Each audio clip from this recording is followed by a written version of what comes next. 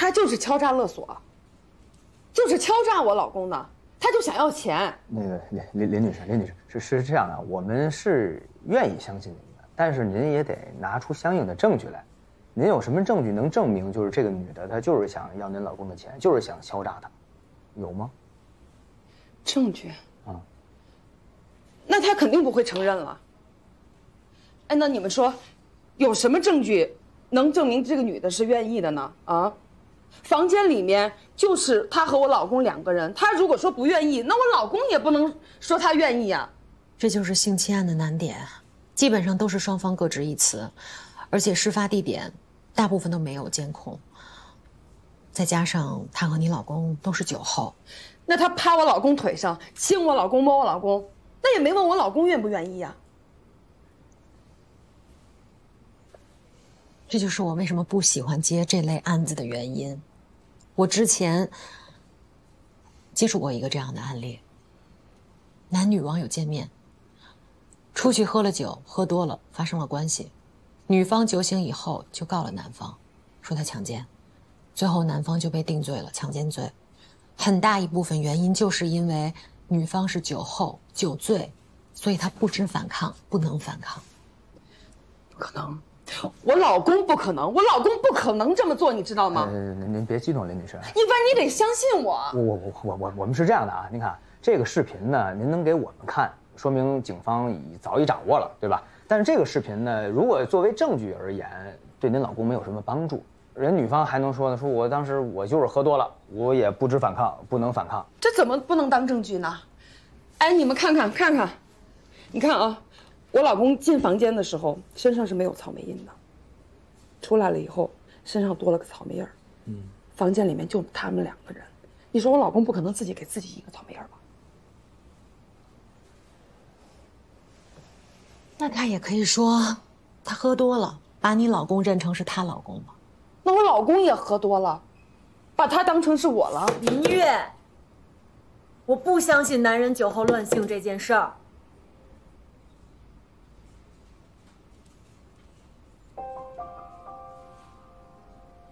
一凡，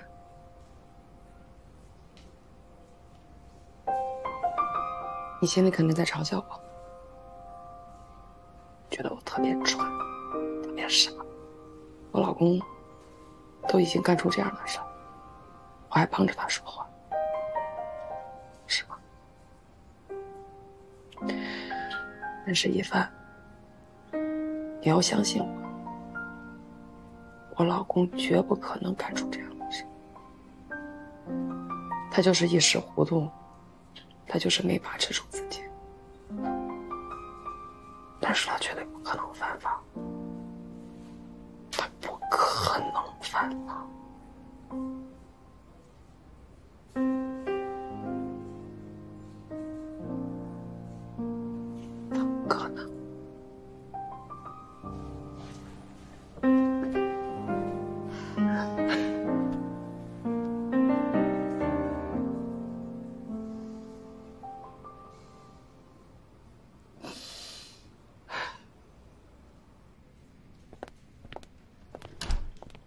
主要是，不管她老公这次强奸罪是不是真的会成立，这件事对于林月来说都会造成不小的伤害。我只是想让她做好心理准备。我明白。嗯，老师，您看我这样行吗？我回去找找这个受害人有没有什么闺蜜，我找她了解了解情况。女孩一般不都爱把这心里话跟闺蜜说吗？您说呢？你是想坐牢吗？我们是律师，我们不是警察，我们不负责破案。我们的工作是针对公诉机关提供的证据找漏洞，懂不懂？这才是你工作的重点，这件事你必须听我的，不要自作主张，不要擅自行动，明白吗？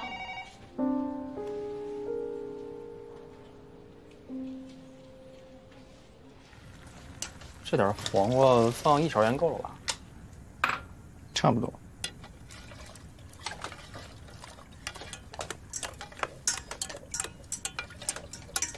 你们的案子有进展了吗？没啥进展。你一直看什么呢？嗯，受害人微博。易律师不是说不让你接触受害人吗？没接触，我看个微博。易律师不让你接触是为了你好。水冒了，油瓶子倒是不带扶的，你给我关火呀！倒是。易律师之前就有个男朋友，嗯，他们上大学的时候就在一块儿，后来因为取证不谨慎，被判了，现在都没出来了。真假的？真的。你咋知道的？我爸跟易律之前律所的一个律师认识，他们讲的。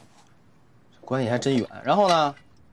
他们那个案子吧，啊，跟你们现在这个案子有点相似。辩护人在接触被害人的时候。被害人改口了，后来就被发现了。被害人就说，是律师教唆他说的，被判了妨害作证罪。这么惨？嗯。你看，你先来，你先来。咱俩天天吃饺子，哎，你就不能学学做个饭什么的？我学，你怎么不学呢？我我我已经有一道菜了，都煮坏了。那是饺子的问题，那是我的问题。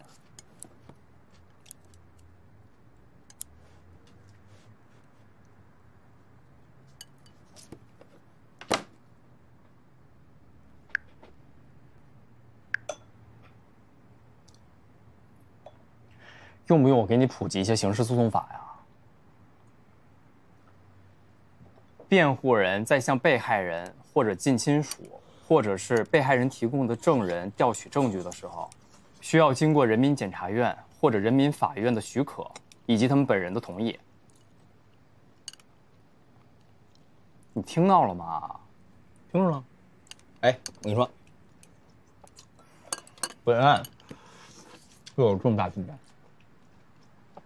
我找着她闺蜜微博了，你看，俩人还有合影了，而且最蹊跷的是，在林月她老公出事之后，俩人就再也不互动了，说明什么？你是觉得他知情？你不会要联系他吧？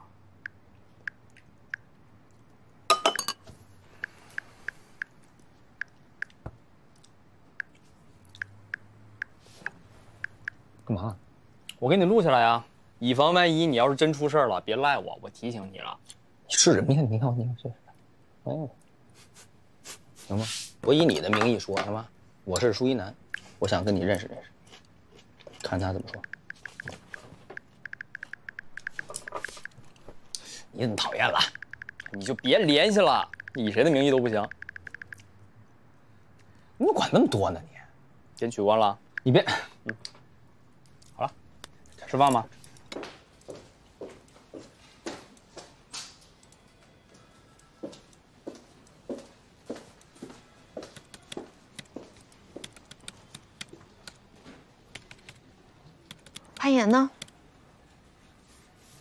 他晚点来。你有什么事我帮你吧？他去哪儿了？他，他去见个朋友。上班时间去见朋友？他是比较着急。喂，林月，你先别着急。麦威那边如果真的没有问题，他很快就能出来。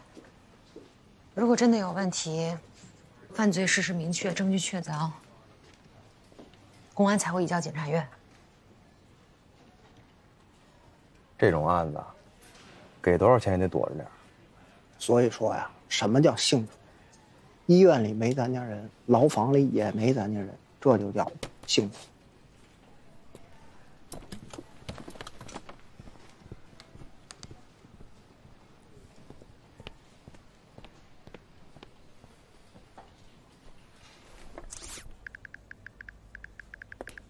潘岩没来上班，也没请假。让我帮他请假，就请半天。他不会去找证人去了吧？他不让我说，我根本就拦不住他。这不是小事儿。他说他会小心的。他去哪儿了？找谁？刑事案件不能开玩笑。我真不知道，他跟人家私了你也别太担心，潘岩，他会谨慎吗？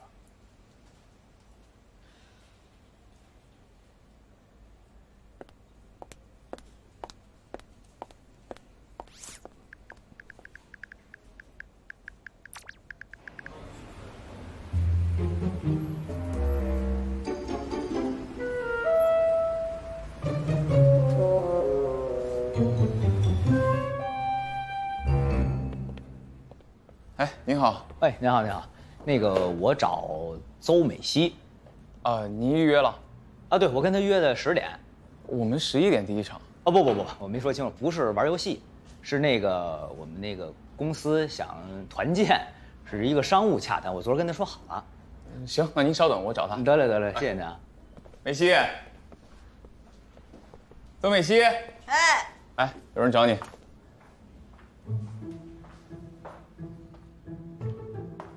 您好，哎，您找我？哦，您好啊，那个我是锅包肉，锅包肉，那你俩一对儿，他猪肚鸡。不，这我网名。那个我昨儿给您发那个微博私信，说是那个我们公司想组织团建，想玩密室，然后您说让我今儿来那个跟我讲一下嘛。哦，想起来了，来来来，啊，好好。桃花潭，啊古装元素的，哦芝麻开门解谜的，嗯嗯。四幺九房间略恐，呃，就看你们团建有什么需求。那个我我能拍照片吗？没问题，就是给我们领导看的。可以可以。我我看这照片墙也挺好，这我能拍。可以可以，没问题，哦您拍。好嘞好嘞。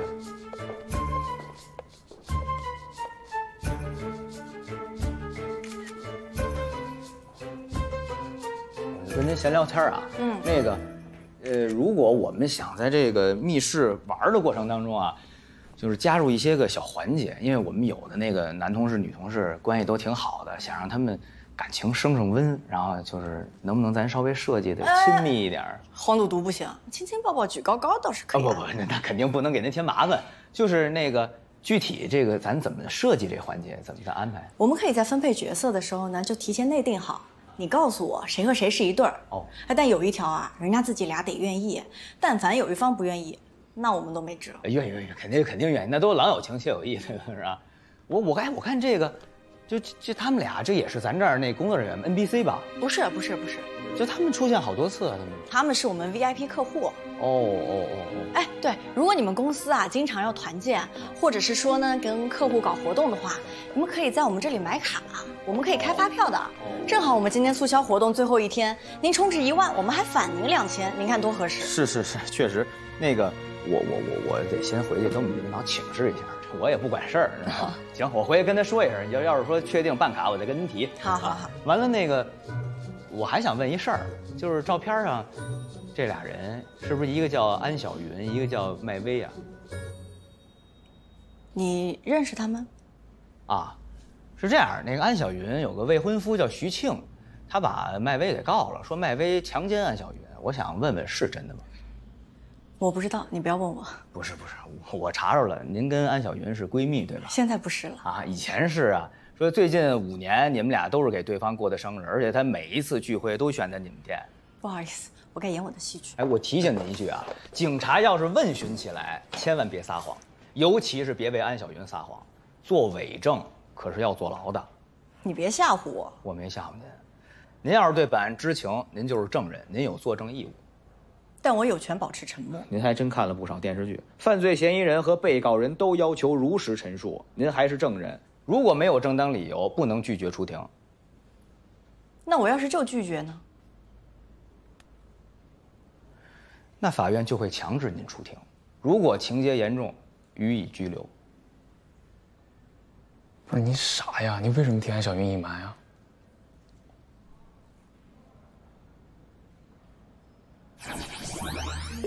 邹美熙是安小云的闺蜜，林月的老公麦威是安小云的上级。安小云在工作当中，逐渐对麦威产生了好感。谢谢。嗯，我觉得我要喜欢上他。他有家，他老婆就是一个家庭妇女。他跟你说了，他家庭不幸，老婆不理解他，你别上当。哎，没有没有，他没说。但我见过他老婆，配不上他。啊，西西，求你帮我个忙呗。坠入爱河的安小云，拜托她的好闺蜜邹美熙安排一场密室游戏。安小云和麦薇在密室当中扮演了一对情侣，他们假戏真做，关系突破了上级与下级。可事情并没有按照安小林的设想而发展。不是你以为你比他老婆年轻貌美能挣钱，他就一定会跟他老婆离婚啊？别说了，岳吴刚，你说，我想听。他老婆给了他一个家，对吧？这个家热热闹闹的，有老人有孩子。你呢？是你年轻，你漂亮，但每年都有更年轻、更漂亮的人出现。他为什么会为了你离婚呀？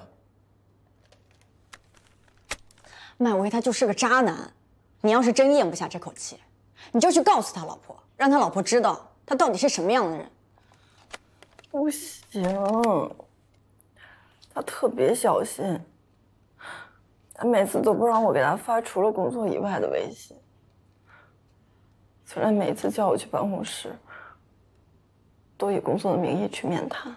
所以啊，醒醒吧，别犯傻了。安小云被吴刚一语点醒。等会儿，答应。吴刚是谁啊？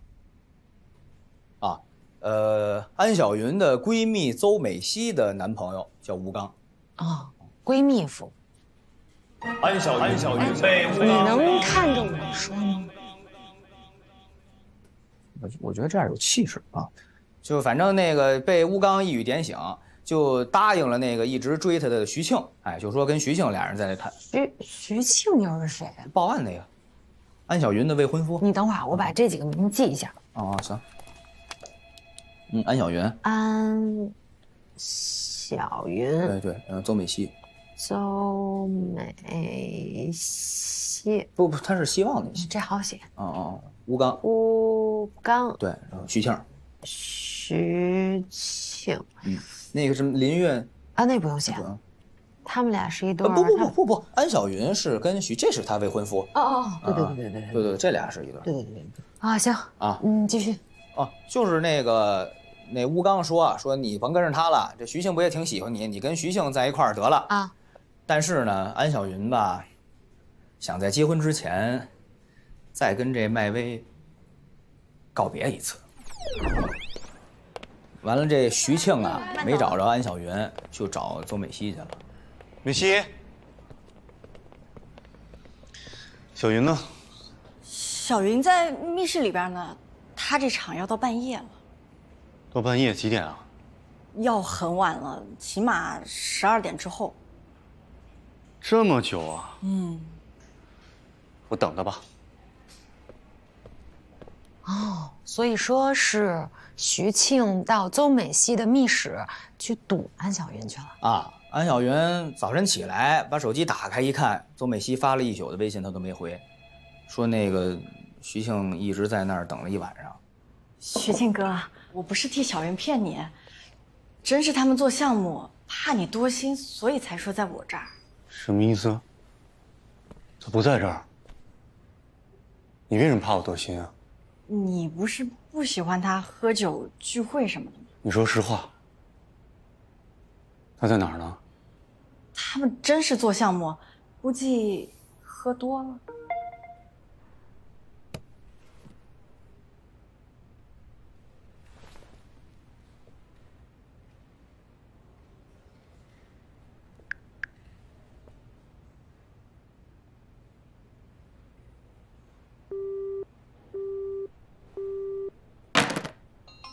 他在哪儿？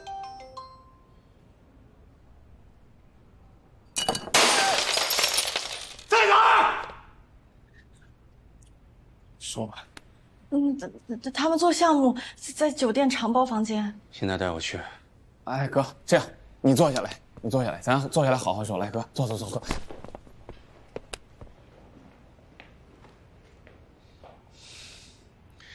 在我见到他之前。你们谁也别想给他通风报信。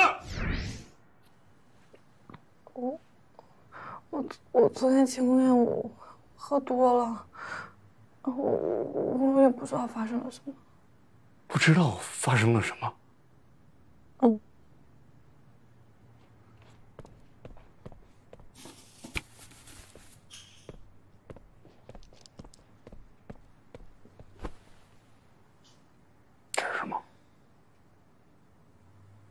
不跟我说，努莲喝多了，你自己撕着玩儿。姐，对不起，对不起，我昨天喝多了，我真的不知道我怎么就被带在这儿了，然后我被人欺负了，然后我不知道该怎么面对你，我只能给你发信息跟你说分手，对不起，对不起，我不知道怎么会变成这样。这人是谁啊？他叫什么名字？你现在告诉我，告诉我这个人到底是谁？是谁？当时我们也害怕出事儿，所以就一直陪着他。安小云当时在那哭哭啼啼的，我也就差点心了。小云当时是怕徐庆太冲动了，所以才没敢承认。等于你到现在还不知道这个麦薇已经被抓了。我们俩不想掺和这事儿。再说了，他也不是什么好人，家里有老婆有孩子。哎，是安小云明知道人家有老婆孩子，你搞清楚。那他也应该把持住啊！那他也不能诬陷别人强奸吧？他没有诬陷他，他只是跟徐庆那么一说。再说了，徐庆那个状态，他要是说实话的话，徐庆不得把他给杀了？我早让你别跟他来往了。我不是已经跟他掰了吗？那你现在为什么不去作证啊？那毕竟那么多年的闺蜜。哎哎哎，两两两位两位，就别吵啊！这就是本案的全部过程。说完了吗？说完了。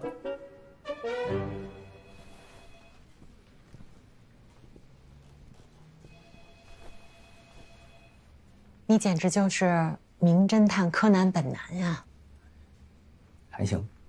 你以为我夸你呢？万一这几个人当中存在亲属关系怎么办？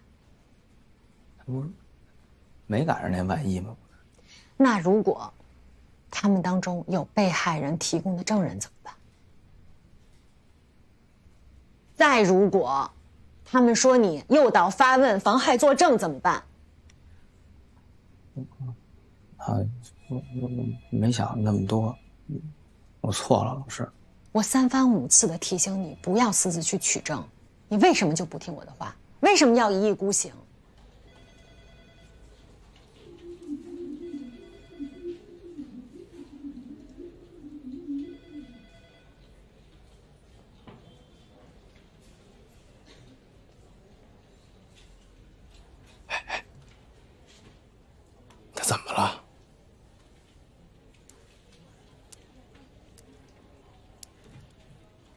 是这么想的，您刚才也说了，柯南什么的，我记得柯南有一句词儿是“事情的真相只有一个”。那天林月说完，我其实也想知道这事情的真相。我觉得吧，虽然她老公是一渣男，但是尽管他道德上有瑕疵，也不能影响到法律的公平性。如果他有罪，该怎么判就怎么判。如果他无罪，咱们做律师的就应该帮他洗脱嫌疑。行，你说的都对。就算你一定要去取证，你也应该带着一个人和你一起去。我也不是没想过，但是。说实话，我知道他有风险，我也怕我万一栽进去了，我就别连累别人了。连累谁？连累我吗？我是你的指导老师，我们两个一起在办这个案子，你为什么不信任我？为什么要背着我去取证？进来。一律。安言他知道向律师的事情，他是怕您担心，怕您明。你说什么？那个崔楠，出去！都给我出去！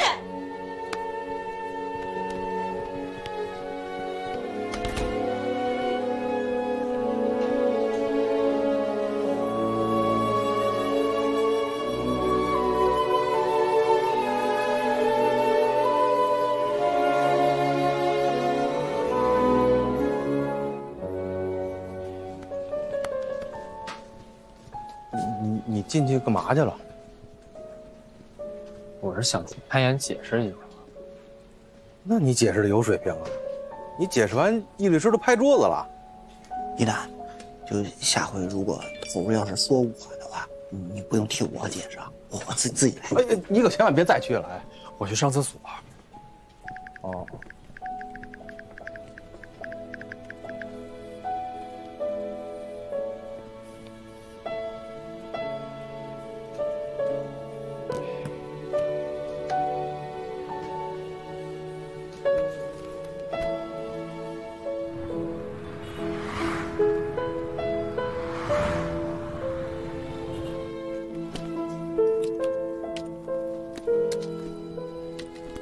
走了啊，东西了吗？潘岩，啊，拜拜啊，走啊！我我我我加会班，你们先走吧。那我不等你了啊！啊，你走就走。你回家吃饭吗？呃，甭管了啊，我一会儿自己吃不就行了。走了，潘潘啊，拜拜拜拜，哎哎，走了，嗯，拜拜拜，拜拜。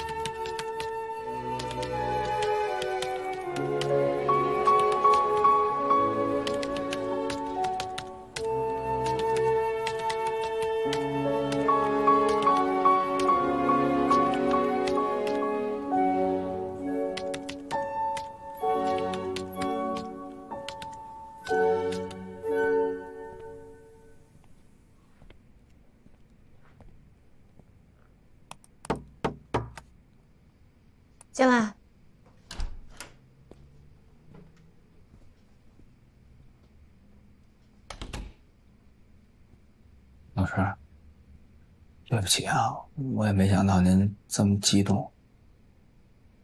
坐。哎。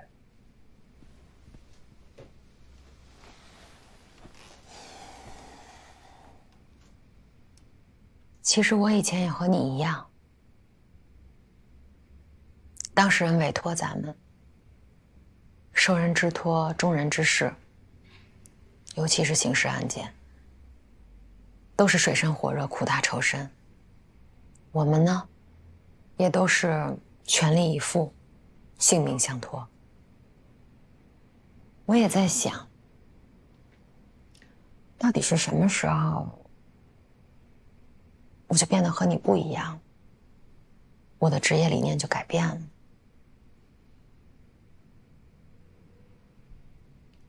向律师的事儿你都知道了？那其实也不太清楚。他是我的未婚夫，我们俩还有林月，我们都是大学同学。本来我们都快要结婚了，婚房都准备好了，戒指他也给我了。就在我们俩的婚礼的前一天。他被抓起来了，原因就是因为当时他也接了一个这样的性侵案，然后法院判他妨害作证罪，到今天他还在牢里。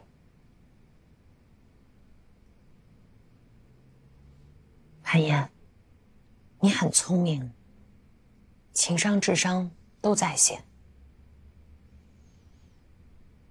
可能是因为我在这个行业里面太久了，看到很多人出事儿，所以我总希望身边的人可以远离风险。你能不能答应老师，以后在帮助别人之前，先保护好自己？您放心吧，我答应您，我一定按您说的办。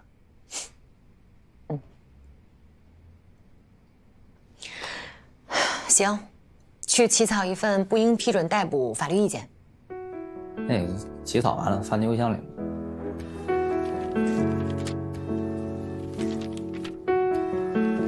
我是这路上没名字的人我没有新闻没有人评论要拼尽所有换得普通的剧本。曲折辗转，不过谋生。之前是同事关系，但是后来就变得有点微妙。他们俩在酒店发生了什么？其实我也不太清楚，我一开始以为那个女的只是带着她的老板还有公司的员工来团建。因为我们进去的时候，呃，就看到她一个人在那，然后桌上有酒，然后房间很乱。他们平时有没有什么亲密行为？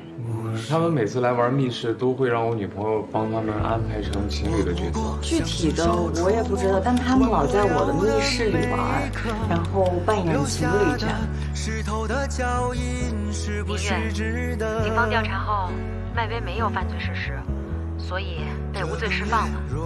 谢谢，谢谢你一帆。顶天立地却平凡普通的。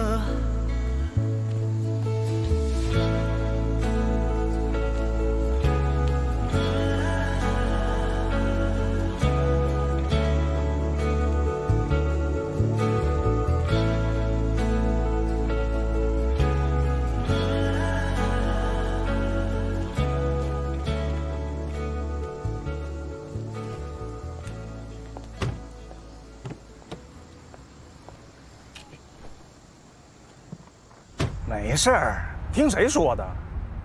那可不就瞎说吗？哎，过两天一起吃饭啊，咱们见面再聊吧。啊，哎，好嘞，好嘞，拜拜。哎，跟单位都说清楚了，就是无限嘛，都过去了，没事儿啊。过不去。什么？你这事儿，我也没跟家里人说。现在这事儿是过去了，你过去了，我过不去。不是林月，你现在应该好好想一想，你应该好好组织一下，好好编一下，想一个能说得出口的离婚的理由。我这不是被冤枉的吗？对，这事儿你是被冤枉的，但是出轨不是被冤枉的吧？哎呀，那是他主动扑我，他勾搭我，我孩子归我，房子归我，存款我六你四。你说什么呢？你是过错方。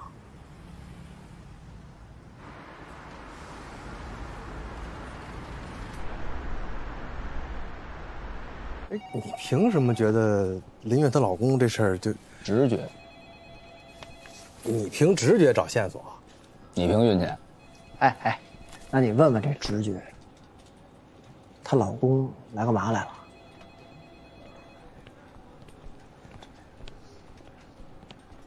这还用直觉吗？肯定是表示感谢呀。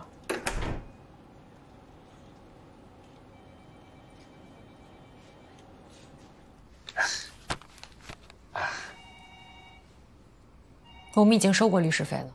哦，这是我个人的一点心意。这个我不能收。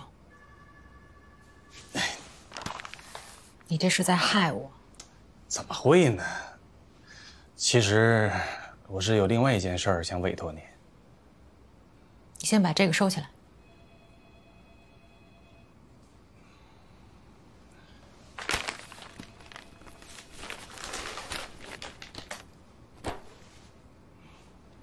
什么事儿？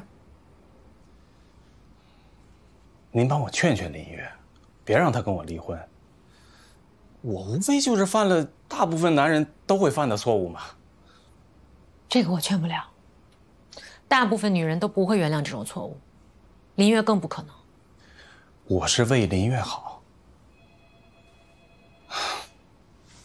她刚毕业就嫁给我，这个社会有多复杂，她根本不知道。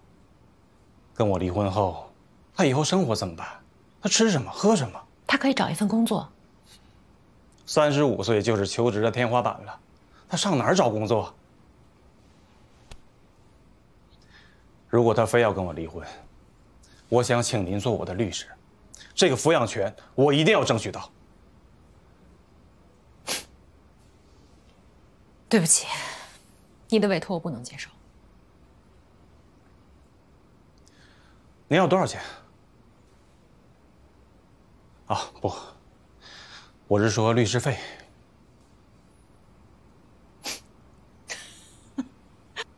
你可真是恩将仇报啊！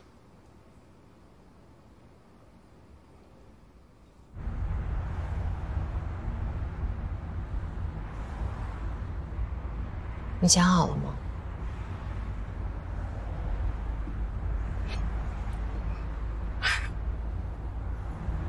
想好了。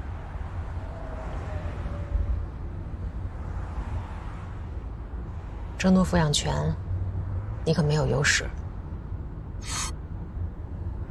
孩子，孩子一直是我的。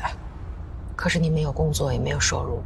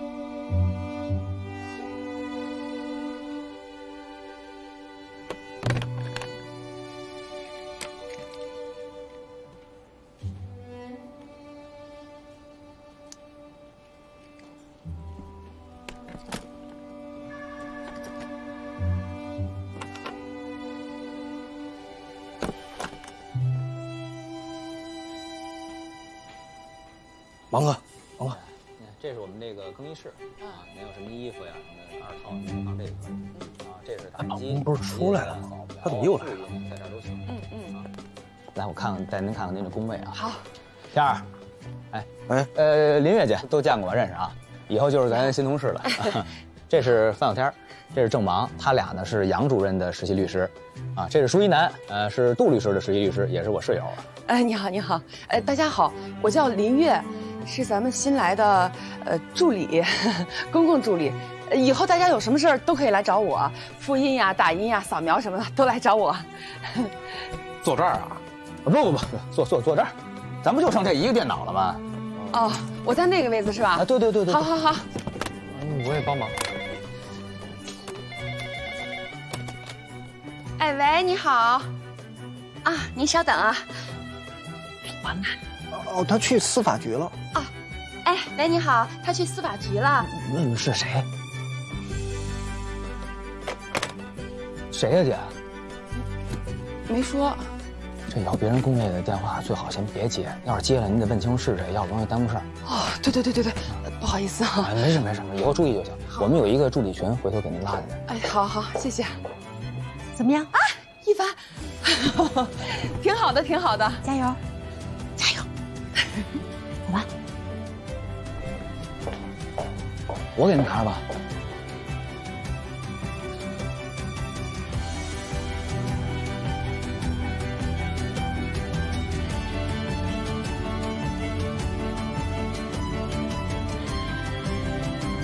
哎我来吧，我来吧！哎呦，谢谢你们，没事没事，太麻烦了。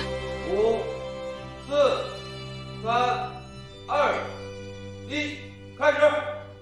今天我们请来了融科所的一帆律师，还有实习律师潘岩，一起来聊聊性同意。性同意是一个法律名词，呃，它指的是任何人不可以在违背他人意愿的情况下，以任何方式触碰他人的身体部位，呃，无论是搭肩膀、亲吻或者其他的性接触行为。那壁咚呢？就是男性把女性逼到墙边儿，像这样，一只手扶在墙上，或者是整个身体靠在墙上，然后身体呢突然接近，那女方呢就会特别的害羞，大大增加了这个表白的成功率。这也是当下非常呃时髦跟热门的表白高招。那这个要是我们做法律的看着，可能就觉得不是什么高招了，这分分钟就有可能构成猥亵妇女。嗯。哦，还有一点很重要，就是获得性同意的性行为，一定要在他人知情、认同的情况下，呃，有清醒意识的时候自愿参与，并且可以撤销。那这个是什么意思呢？您能呃举个例详细说明一下吗？